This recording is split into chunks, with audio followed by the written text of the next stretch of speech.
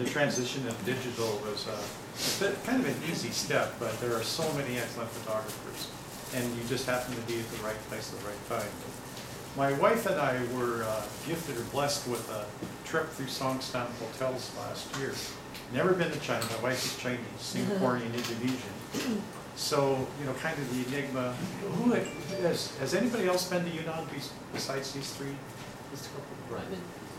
Yeah, Anybody interested in Yunnan or know anything about it? It, kind of a general summary, I love British Columbia and Southeast Alaska, my home state's Washington State, state of confusion at this point, but we love the mountains, and Yunnan's the closest thing I've seen to the Fraser Canyon, the BC coastal range, Southeast Alaska, and yet fill it with more animal diversity, greater number of azaleas and rhododendrons than I can imagine. Flowers we, we put in our gardens that are wild there, like primulas. Um, poppies. Uh, there's one plant called the rhubarb. It's in the rhubarb family, but it's like a big cone and it creates its own hothouse at four and a half thousand meters. It's amazing, and it incubates its seeds. Uh, Bird diversity, I've never seen so many thrushes. So as a caveat, uh, there's a group of Chinese photographers who have contributed some camera trap pictures. To see a wild musk deer is so rare, so difficult, to see a wild sorrel, You see birds. I mean, I see things canopy. Some of the birds you stumble on, like monal pheasants. But the rest of them, uh, I want to give credit to some Singaporean photographers that are here, and uh, some through um, Flickr, and uh, again, these Chinese, and also a group called Mammal Watch, and they do trips specifically to go find uh, animal I'm going to question you on later, see if you know what it is. So without much anything, Yunnan, uh, its name came from, now, you're going to have to help me with the dynasty, about 600 AD, time. Is that, is that right? They um, discovered tea, and some of you, I don't know, I might have to sit down, I can't make this thing work, so, excuse me, it- better heard than seen. I- I would- Is it possible to switch off the lights every year? Oh, there we go, okay. And so it's called the Southern Land of the Clouds, which is an amazing area. Um, I had the privilege of my first trip to Nepal in in 2015, and we tried to do the eastern section of the Great Himalayan Trail from Kanchenjunga across Lumba Sumba Pass down into Makalu. And uh, we were not only hit with rotten weather, but in April, we were hit with a magnitude seven and a half earthquake. And so we actually dodged some rocks the size of a Volkswagen. Um, It didn't hit particularly hard in where we were, but in a rock area we were, but in, the, in uh, Pokering and then Everest Base Camp and some of the areas closer to the epicenter, it was really major. So this is on the eastern edge. This is Kawagarbo on the right, which is 6,700 meters. And this is from our hotel room. I'm used to From spending four or five weeks, sorry? Where, where? is it? I'll, I'll explain, this is in Meili, this is in Yunnan, this is part of the Songtsam hotels, but the, um, the, the color, carry is pretty bad, is it, it seems washed out, is that just the projector or? It's a projector. You see the difference? Oh, I see, uh, Well, that's okay. it's a projector. Anyway, it rained on us two days in October and um, finally cleared, but to give you a little idea of the beauty of this area, uh, whoops, I have to go backwards. Jade Snow Mountain, it's a, it's a valley, valleys and peaks over uh, tremendous, this is supposed to be the deepest gorge um, in Yunnan, not in Tibet. I think it's twice the depth of the Grand Canyon. This is Jade Mountain, and then the Yangtze or the Jiangchantian River goes through it. Tiger Leaping Gorge, I'm sure you've heard of it. And uh, one of the first bends in the Yangtze River. Uh, It was amazing. We were picked up with a white BMW X3. I can't even afford one, let alone dri- ride in one. So this was really, really a first-class treat. And some of the rivers that you cross, uh, the Mekong, the Noom, which come- becomes the Salween, and this is the Noom that runs uh, parallel to uh, Burma and then actually becomes the Salween. so it's an amazing area from uh, a botanical rich area from subtropical forest to alpine in Gaoligongshan, uh, near the Burma border, to uh, Upper Dechen and Upper Yunnan, the Baima Snow Mountain, which is a reserve. There's still marl sheep. They claim that there's snow leopard. This is uh, Minjiao Lakes, one of the most beautiful places I've ever seen, a series of lakes with waterfalls. We were, this is in the fall, but we were absolutely stunned with the beauty and the diversity of Yunnan. And we were in the fall, uh, I would love to see it in the spring. Twenty-five ethnic cultural groups here, from Lisu to Naxi to Tibetan and all kinds of Bai. uh, It's amazing. The Lisu are a bit of a problem to me. In the national parks we have in, in the States or North America, no, nobody can live in the park and nobody can hunt in the park. And here, you've got the Lisu were once crossbow hunters and have taken out almost all the game. Um, There's no, there's very few bear left, Himalayan bear, there's very few musk deer, very few of the white-nosed deer, there's a sambar, that's gone. Um, Leopard is uh, pretty much gone, so things are pretty rare these days. This is Tacheng, which is the beginning of the route that we took, right during the rice harvest. And we got the privilege of seeing, it was orchestrated by the Chinese government, a harvest festival, but we're the only whites there. My wife was, actually, I'm the only white there, my wife is Asian. And so, uh, we got to see some of the traditional music. Here he's playing a Iriwu, and notice he has a leopard skin apron. That's from his grandfather. So this was once a very wild area. Uh, the Tibetan fox, their shirts on the right, the lisu is made with hemp. The lady in the center, uh, with the Amherst pheasant, the beautiful pheasant with the long, long, bright tails. You don't see many of them, they're really hard to find unless you go to Bhutan. But then the lady in the, in the center is um, Tibetan in her dress. They have a special drum and a ragu dance that they do that is, uh, bit- it's more of a form of animism than Buddhism. And the crescents represent the, the moon. Um, they wear a cape of sheepskin. Well, the Naxi wear a cape a sheepskin that represents the universe and the stars. It's fascinating their culture. And we had a chance to see a rare uh, mass festival in Sitsong in a monastery. I'm not Buddhist, but it was really interesting to see. They're literally trying to scare the hell out of the Tibetan villagers. So they're good, do, do well for their karma, and the faces that they see uh, are supposed to scare them. In fact, there was one point where a guy comes out among deer masking, has a pink heart, he cuts the heart out. It was really, uh, really interesting. So the forests are also amazing. Um, in our eastern United States, that I'm from, I'm from the west coast, but in the eastern United States, you've got oaks and walnuts and hickory and maples. That's what's here.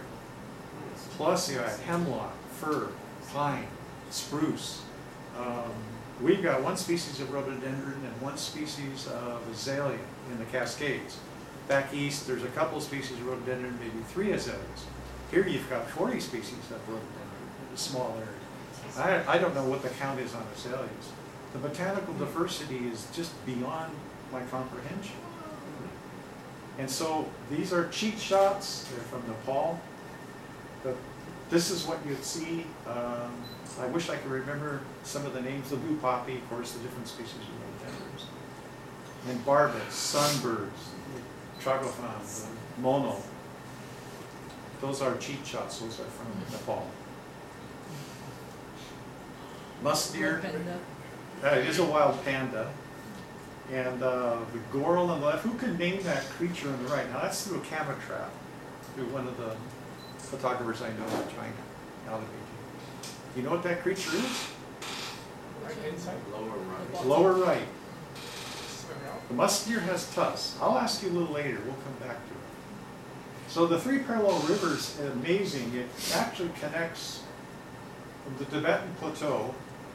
The uh, Salween runs through this way, the Mekong, which is amazing river, and the longest river in China is the Yangtze, which ends up in Shanghai Bay. So the Yangtze is six thousand four hundred meter, or kilometers in, in length. The, uh, the Mekong is about four thousand six hundred kilometers in length, and then you can see where the Salween is.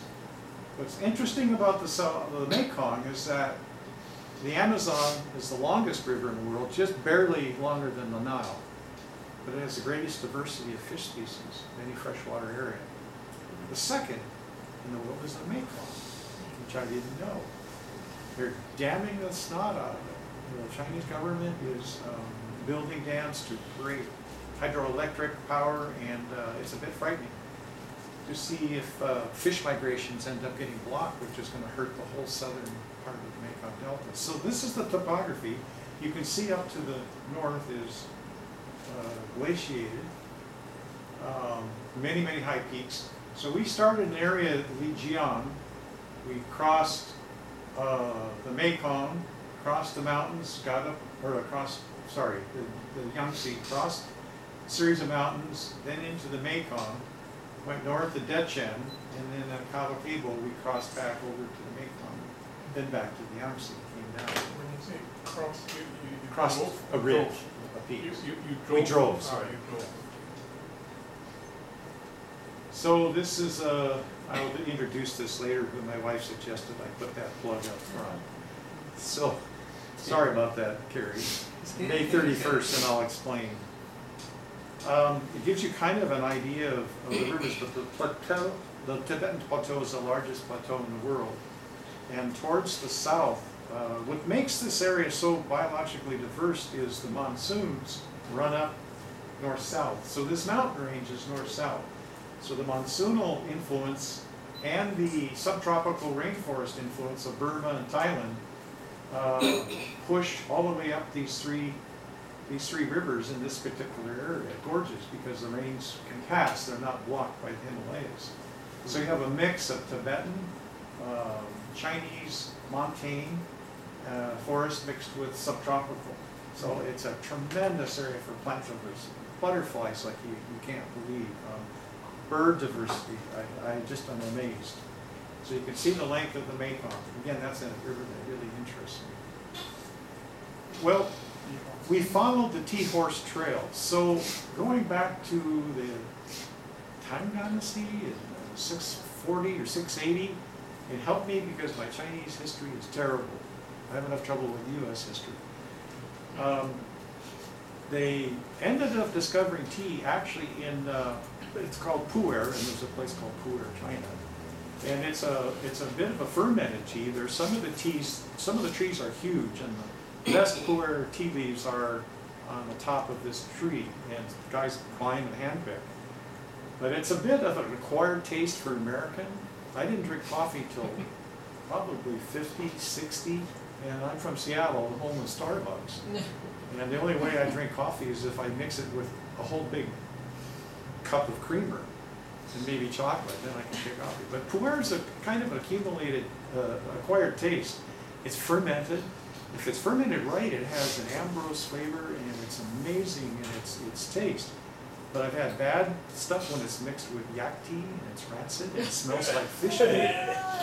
Oh, but these guys were amazing. So I met one of Songtsam's workers called Nunu. His father was a muleteer, hundred, and he's ninety years old. So this would be nineteen thirty, forties, somewhere in there, thirties, twenties.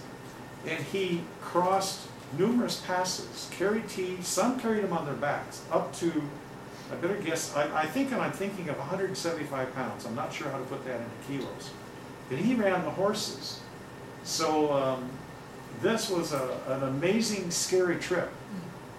Joseph Rock wrote about this in the 1922 to 1940s, and uh, he wrote for National Geographic, and he's got amazing stories of how these guys fought off robbers.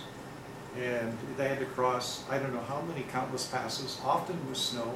These were tough guys.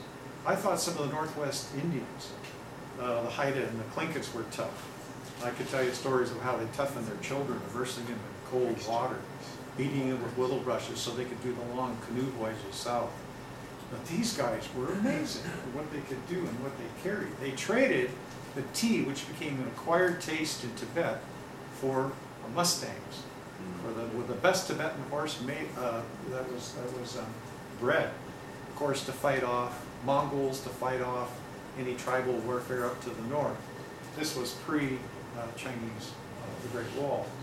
And so the tea was providing vitamins for a nutrient-poor southeastern Tibet that could barely grow any potatoes and very- barely grow barley. Uh, Boy, tea was a welcome, was a welcome trade.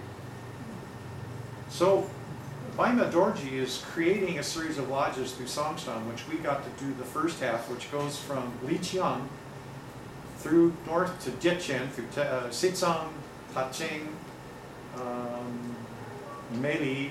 It will eventually go through Kham in Tibet and ends up in Lhasa. So you could take time in five-star lodges. We didn't go that far. Then you had John Hilton, the British writer who wrote about Shangri-La. And uh, they say this is the Shangri-La Yunnan, but everybody has their own Shangri-La. The actual city of Shangri-La is burnt down a few years ago, they recreated. It. Lijiang had a fire, they recreate that. But it's thought Lijiang, or uh, Shangri-La was more of a a Buddhist meditation thought. It was a place where people arrived. And what really said was a place was the, uh, oh boy, the Yarlung Tsangpo River that goes through Namcha Barwa, this seven and a half thousand meter peak on the eastern part of Tibet, some of the wildest country in the world. And uh, only first got ran about eight years ago. Many people have died trying to kayak it. Nobody's made it, except for a team finally last year. And then you had um, another writer, he was um, Peter Goullart, who was a Russian linguist, and he spent time, his home is, have you seen that, his home in Lijiang? A small home, and he wrote about the Naxi people.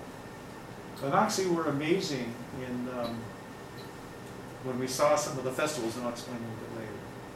So the first part we're exploring is the Yangtze or Zhenjiang River. This is lowlands, about two and a half thousand meters, and uh, my wife loves nature. I'm used to roughing and climbing since a kid, so I didn't kick and scream when I got to stay in a five-star hotel. And they sang us a Tibetan Naxi song, pardon me, when we came in, put the scarves on us, and really made you feel like you're part of family. It's, it's amazing how the Tibetan culture welcomes you. So that's uh, Naxi on the left. Normally they have braided hair, and these are artificial braids. And they're carrying the ur, or urwu, the Tibetan two-string fiddle, fiddle, and um, some of the amazing dances. And this is the Tibetan culture. So the children, the old men, the, the culture, although the government orchestrated it for a film crew from um, Kunming, we were privileged to be able to just film and watch them practice. Again, we were so fortunate. So this might bore you. I'm going to skip through parts of it.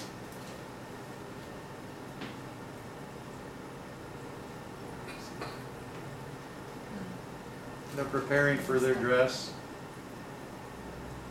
Oh, no sound. Is there a reason? Um.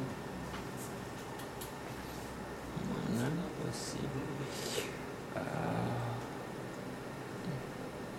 oh gosh, I wish I could hear the singing. That's the Urwu. uh, I have no idea. I mean, sorry. This is typical Naxi, which is from the Tibetan style of their hands with the long silk sleeves. the wind. I don't mean, With the computer, it's not be alright. It's in the top. But then you wouldn't see it. yeah. I mean, let's let's try that again.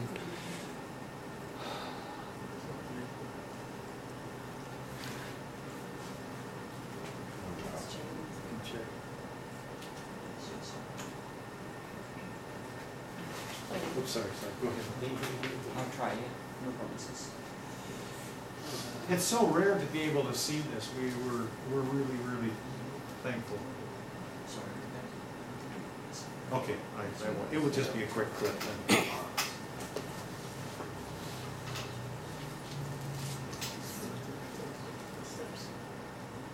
Well, anyway, I apologize about that. That's, um, I'm technically challenged as seventy-one, so I'm not sure how to.